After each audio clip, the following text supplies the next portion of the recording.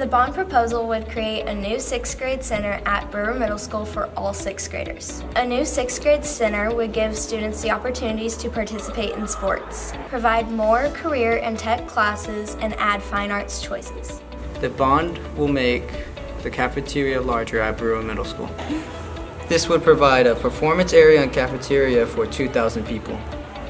The bond includes a 7,000 square foot band hall at Brewer Middle School as well as a choir room renovation to accommodate the growing numbers of students in these programs.